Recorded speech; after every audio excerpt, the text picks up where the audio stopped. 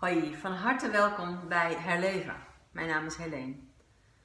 Heb jij wel eens gehoord van de verbonden ademhaling?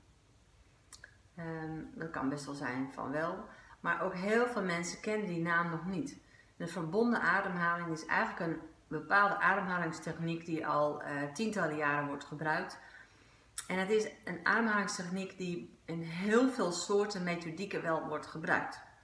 En dan heet het meestal naar de techniek. Dus je hebt bijvoorbeeld transformational breathing, rebirthing, holotropic breath.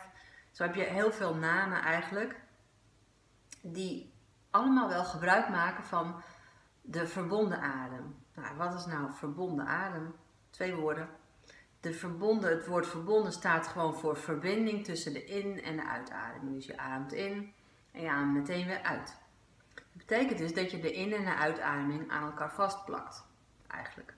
Terwijl als je kijkt naar onze natuurlijke adem, dan hebben wij altijd een hele korte stop na het inademen en een tikje langere stop na het uitademen.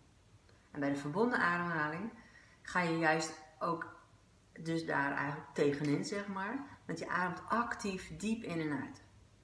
Het is ook een bepaalde ademhalingsoefening hoe je niet in het gewone leven moet ademen. Maar het is een ademhalingsoefening.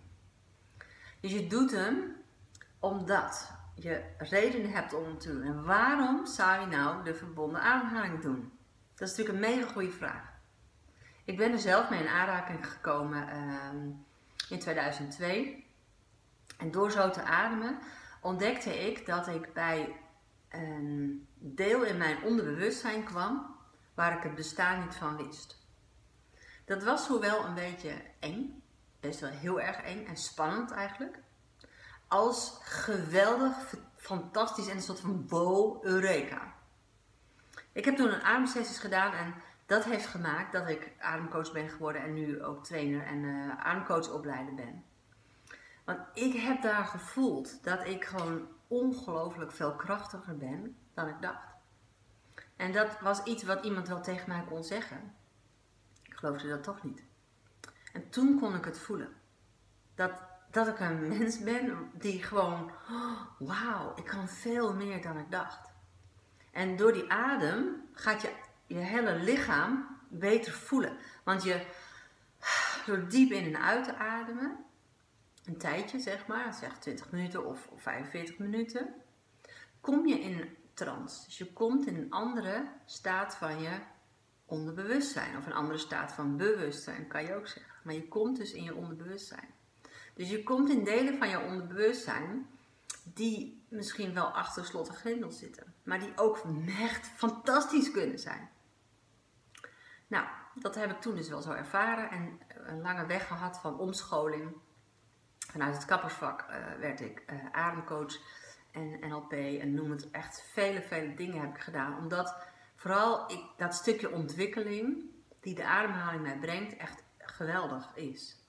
En waarom nou? Dat komt omdat ik vond, en niet alleen ik, maar zo voelde ik dat heel sterk en heel veel met mij, dat wanneer je alleen gaat ademen, dan voel je.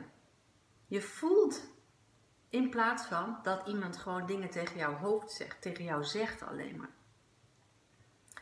En op het moment dat jij dus diepe, um, fantastische gevoelens kunt voelen, en daarnaast leer je ook je brein beter op orde te krijgen, je leert je gedachten te beteugelen, ja, dan heb je een soort recept voor een gezonder, fitter, leuker en vooral veel liefdevolle leven. Nou, hoe gaaf is dat? Dus op het moment dat je dus zo diep in en uit gaat ademen, maak je zeg maar zo, uh, zeiden we dat altijd, je celgeheugen gaat eigenlijk open. Dus daarmee komen emoties vrij, die ook wel eens heel belemmerend kunnen zijn. Maar er komen dus ook heel geweldige gevoelens en emoties vrij, die jou ontzettend veel kunnen geven. En de verbonden ademhaling, um, ja, ik vind het het meest fijn als je het doet met een andere persoon naast je. Dus een ademcoach naast jou. En dat komt eigenlijk omdat een ademcoach die coacht jou op de drie gebieden waarin je kunt ademen. Dus je lage buik, heb je middenrif, borstademhaling. Maar in ieder geval dat je vol in en weer uitademt. En weer vol in en weer uitademt.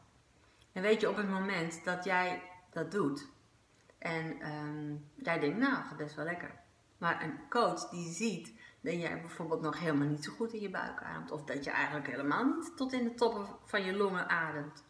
Nou, hoe gaaf is het dan dat iemand even daar op acupressuurpunten drukt en jou bewust maakt van hé, hey, daar kun je ook nog naartoe ademen. Daarmee kan je nog veel meer, groot cadeau, jezelf de ruimte geven om veel meer nog die adem te ervaren.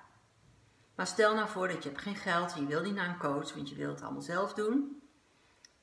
Wat zou je dan kunnen doen als je deze video toch kijkt? Hè?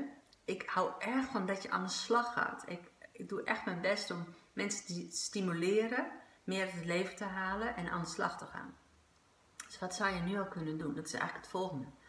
Dat je, als je gaat liggen, als je tijd hebt om een oefening te doen, dat je dan gewoon rustig gaat liggen.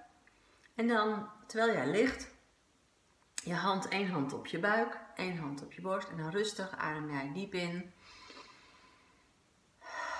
En ontspanning weer uit. Ga dan eens gewoon voelen hoe dat is voor je.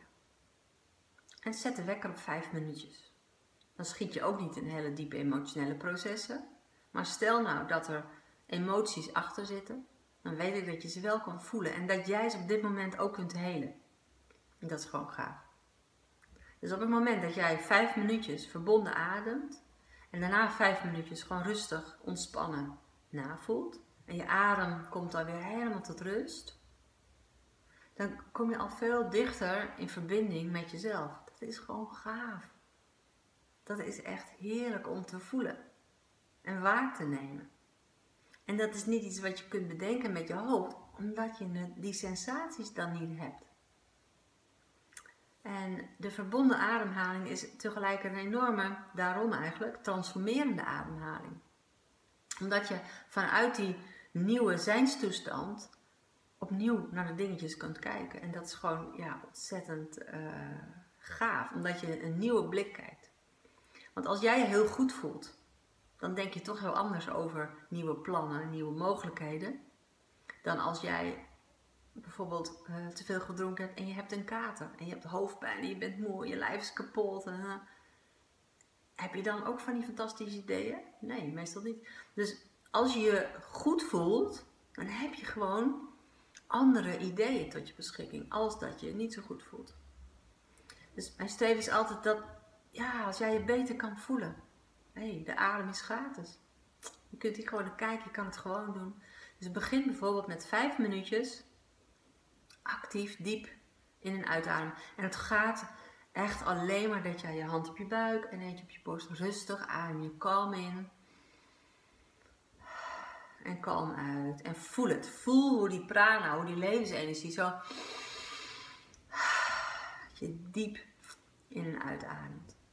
En vooral die vijf minuten navoelen is heel erg belangrijk, want dan komt je lichaam tot rust. En dat is fysiek ook heel belangrijk, want als je te snel opstaat, kun je anders licht worden in je hoofd. En je kunt namelijk ook tintelingen krijgen. Het is fysiek ben je gewoon flink bezig met je ademhaling.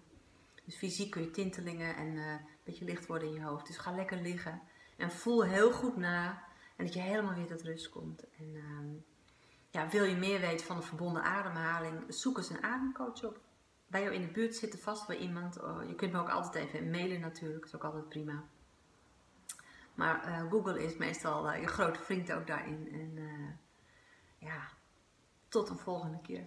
En heel veel plezier met het inademen van veel meer prana. Doeg!